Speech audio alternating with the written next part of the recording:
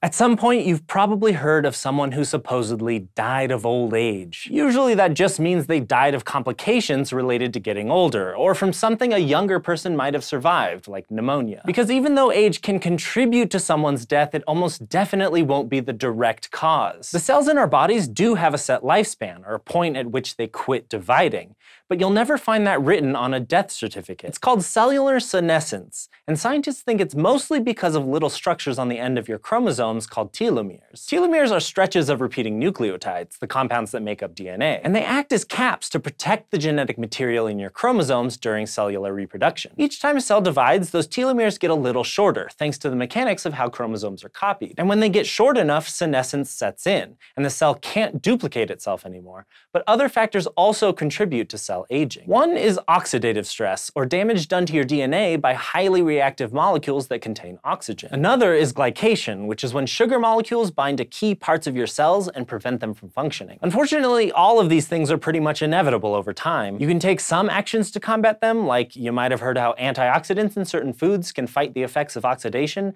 but you can't stop them completely. Scientists aren't sure how old you'd have to be before your cells just couldn't duplicate anymore, but that's because age-related diseases and injuries will catch up with someone long before they can die directly of cellular senescence. As someone gets older and damage from all these sources pile up, their cells are more likely to have problems working correctly and fixing themselves when something goes wrong. That means their immune system gets weaker and they become more susceptible to all kinds of injuries and diseases like heart and blood pressure problems and Alzheimer's. When these diseases appear, they affect someone's ability to get around and take care of themselves and can also cause problems in their organ systems. And those will be the direct cause of death, even though age may be a contributing factor. Thanks to Patreon patron Tommy Boyer for asking, and thanks to all of our patrons who voted on our poll to help us choose this question to be answered.